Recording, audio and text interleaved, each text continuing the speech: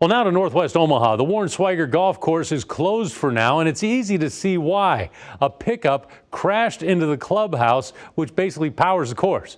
KETV News Watch 7's Jessica Perez shows us the damage near I 680 in Maple.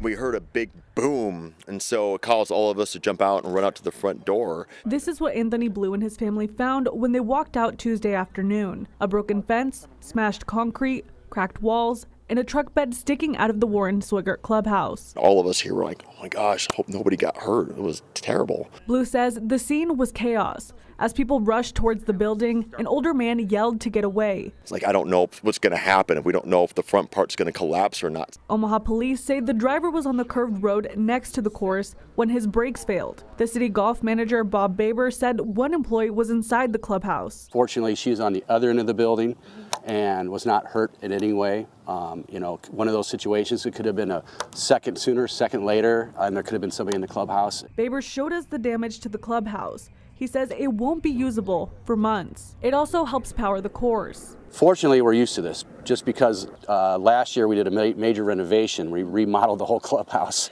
and we were able to use uh, a temporary office, you know, a trailer right down here off the first tee. We'll, we'll get that back established. That's what we're waiting on. That's Baber says the course will be closed until then. While it's disappointing, he's glad everyone's okay. That's all you can ask for. You know, the other stuff will come. We'll get it fixed. We'll be operational. Yes, we're going to lose a few days of revenue, but big picture, you know, it's, it's way better than somebody dying. At the Warren Swigart Golf Course, Jessica Perez, KETV News Watch 7.